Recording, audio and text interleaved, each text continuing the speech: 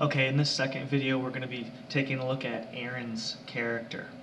So we set the stage here of the circumstance that we're going to be talking about, the golden calf. We did this with Moses. There's a previous video, a part one to this. Uh, this is part two.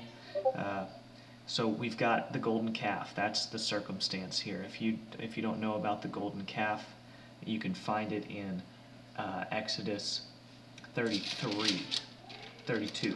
Exodus 32 is the golden calf circumstance. Uh, and Aharon said to them, Break off the golden earrings which are in the ears of your wives, your sons, and your daughters, and bring them to me. What do you think Aaron's intentions were here? Do you think he thought that he was going to make a molded image that was going to be something that made Yah angry? I don't think that was where his mind was. I think Aaron was just working with what he knew and what he knew he uh, probably wasn't capable of, but doing his very best. So let's look at the theme of ornaments and what they really are all about. Here in today's society, we've got really fast cars, really nice cars, really big houses, uh, um, Banana Republic, and Gucci, right? Those are all ornaments. They're all things that say to somebody else, I am successful in what I do, based on the way that you dress, the ornaments that you wear, the things that you surround yourself by, the things that you have earned, right? So uh, the, the Egyptians had been completely plundered. All of Egypt's wealth came with, came with the Israelites. And earrings specifically, back then and today, are a signal of allegiance. Allegiance to what kind of way of life you are subject to. Torah is the groundworks for this idea. Then you shall take an awl and thrust it through his ear to the door, and he shall be your servant forever. Again, the idea of the earring representing servitude or allegiance. They're very intimately connected. So I believe that Aaron saw that the people were bad mouthing Moses because they were still enslaved to Egypt. That's the very first verse in 32. Now, when the people saw that Moses delayed coming down from the mountain, the people gathered together to Aharon and said to him, Come, make us gods that shall go before us. For as for this Moses, the man who brought us up out of the land of Egypt, we do not know what has become of him. So Aaron sees this, he looks at their earrings, and he says, You know what? Break off all those earrings, okay? All the golden earrings that are in your wives' ears, your sons' and daughters' ears, and your ears, take them off and bring them to me. So that's how Aaron is dealing with this very strong desire of wickedness that's within the people. That's his first step.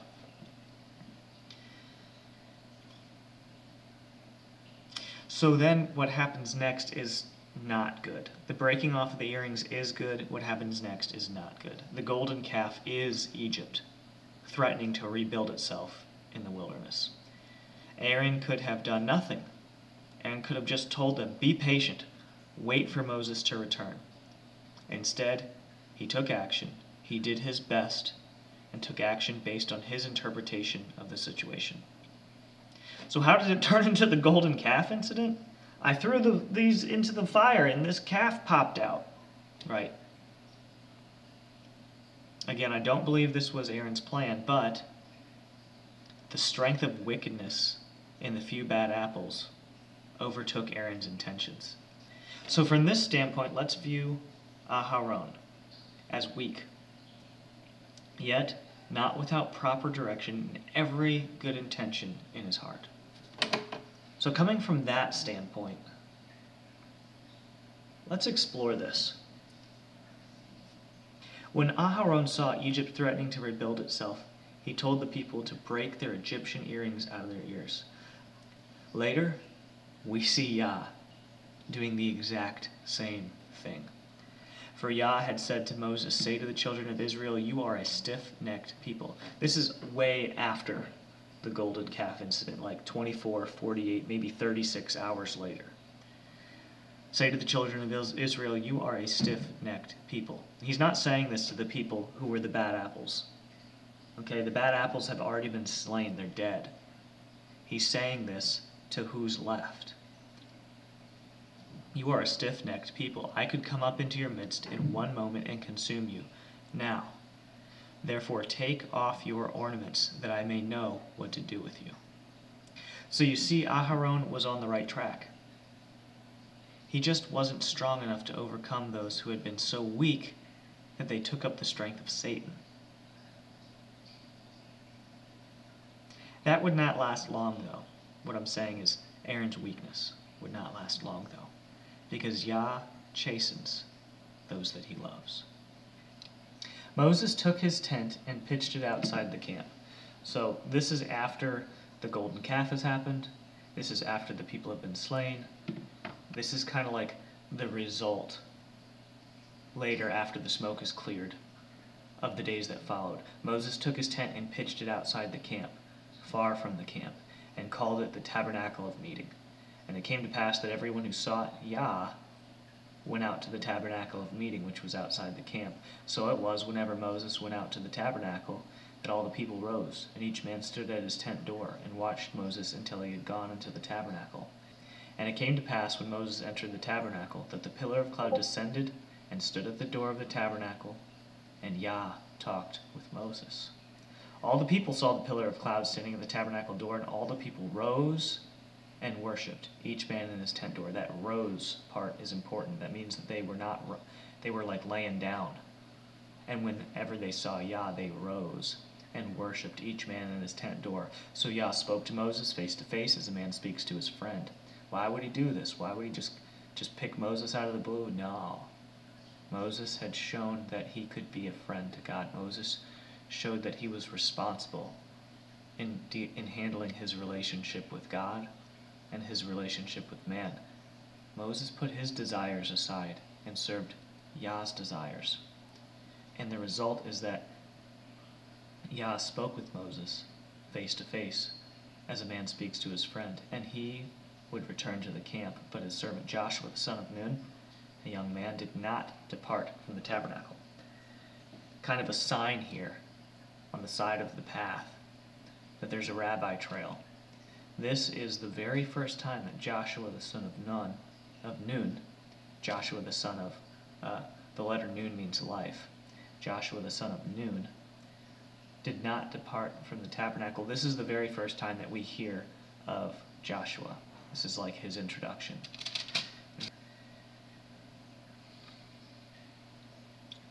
So there we have all that circumstance, the setting up of the tent, Yah coming down, the people rising to worship, no chastening there, right?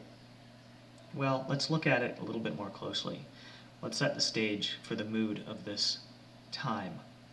This, this time where there was the tabernacle, the people who seek Yah being around that tabernacle, them laying down and only rising when he was around to talk with Moses so they could just, just watch this cloud and just, you know, knowing that Yah was there talking with their leader.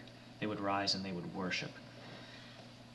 He would be surrounding Moses and and the Almighty Elohim, worshiping the Almighty Elohim, surrounding him. Um, so we've got that. That's what's happening in this time. But what's the mood of this time when we see Moses returned to ask God to forgive the people. That's pretty key. Moses returned and asked God to forgive the people and to put their sin on his own shoulders. We see also that Moses was instructed to go back to the people and be guided by his angel, while Yah plagued them for what they did. That's important. It's just one it's just a couple words it's not really focused on, but it's very important. Yah plagued them for what they did eventually telling them he would not even go with them to the promised land. This sets the stage for the plague of mourning, when the people laid in their tents in mourning, only getting up to uh, only getting up in anticipation of Yah's presence at the tent that Moses set up.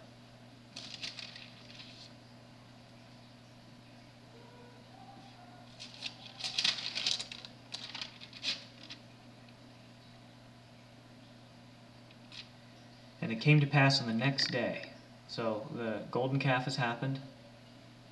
Uh, we've done killed all the really, really bad apples. We've done made the people drink the grinded up calf. And it came to pass on the next day that Moses said to the people, You have sinned a great sin. So now I will go up to Yah. Perhaps I can make atonement for your sin. Then Moses returned to Yah and said, Oh, these people have sinned a great sin and have made for themselves a god of gold.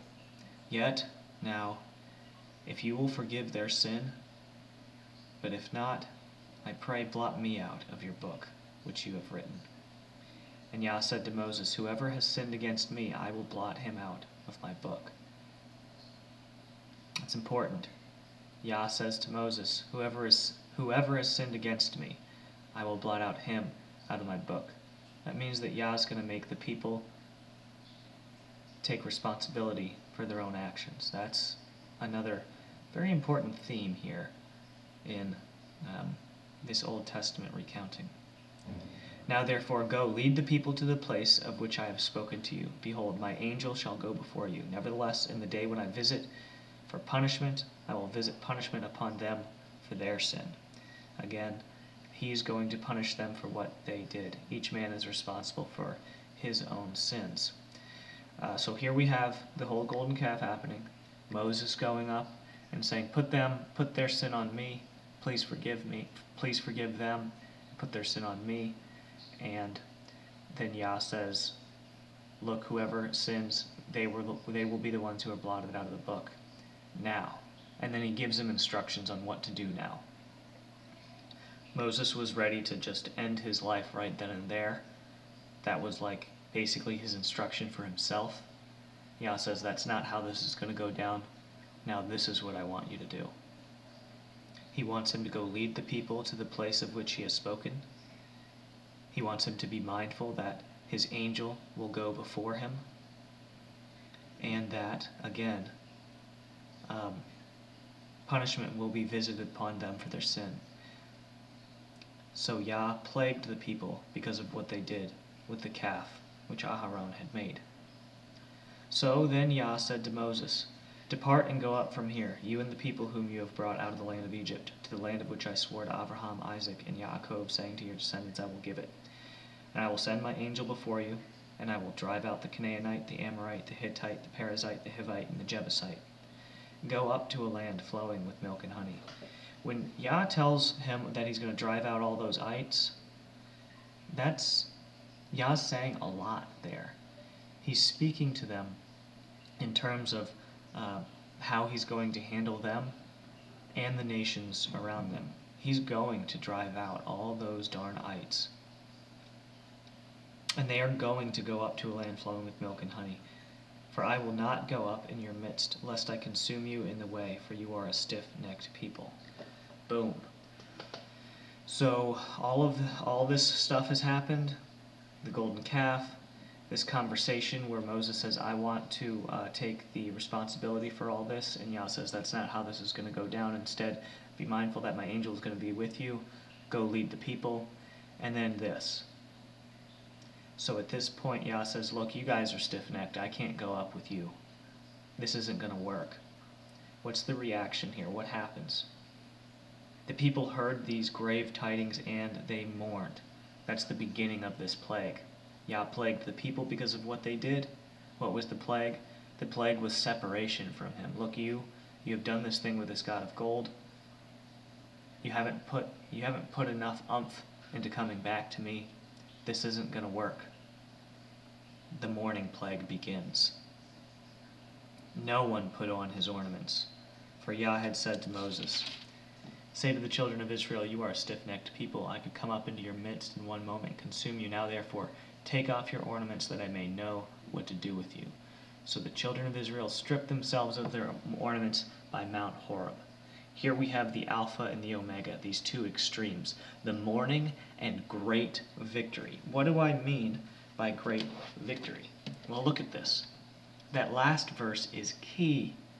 The theme of the ornament's significance and the continued result of the people's misguided desires, coupled with all the work of Moses and Aharon to fight the darkness, threatening to screw everything up, followed by Yah chastening his people.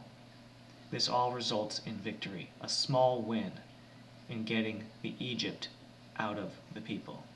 The children of Israel stripped themselves of their ornaments by Mount Horeb. You see how that verse has a monumental air to it? It was a big deal, a win for the good guys. And Aharon was strengthened in the process. So you see this whole circumstance put into the proper light is definitely an eye opener for the character of Yah and what is expected of us. We see that Aharon, he didn't have evil intentions to begin with. Aaron was trying to do the right thing. The people who were not strong enough to overcome the darkness, they were overcome by their brothers, uh, by their brothers, and uh, they weren't strong enough to fight against that darkness. But through constant striving, Egypt's goal here is to rebuild itself through the people. That's Satan's desire, and Satan's desire was thwarted here in this circumstance. The children of Israel stripped themselves of their ornaments by Mount Horeb. And we see that Aharon and the people were chastened and strengthened. All right, so that's the end of our second uh, part, focusing on um, uh, righting Aharon's character and the uh, and batting down the, the gossip and the slander of, of Aharon's character that is so prevalent in today's uh, churches, assemblies, and just in our very mindsets. You see that uh, that lies are just are built into uh, the very church that uh, we all worship within. It's not like this is something that you came up with on your own. This is something that was fed to you from from birth and that has been righted now, and praise God uh, for that. Now that you see this from a, a positive perspective, all these ideas here are just kind of scratching the surface of very, very deep lessons uh, for each of us to learn, and for all of us to become more and more pleasing in God's sight, in our Father's sight, in Elohim Almighty's sight. So the next video in this TISA uh, series, you should find it in the description and a card should be popping up now with that there. I hope that I will see you there. Enjoy.